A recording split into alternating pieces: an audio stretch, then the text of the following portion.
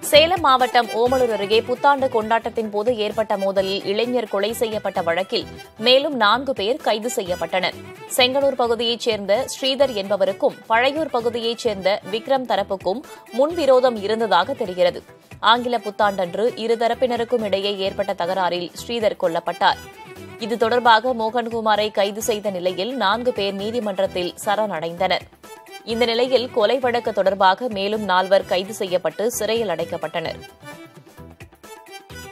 திருத்தணியில் உடல்நலம் பாதிக்கப்பட்டவர்களை மேல் சிகிச்சைக்கு அனுப்ப அரசு மருத்துவமனை நிர்வாகம் அலட்சியம் காட்டியதாக குற்றம் சாட்டப்பட்டுள்ளது.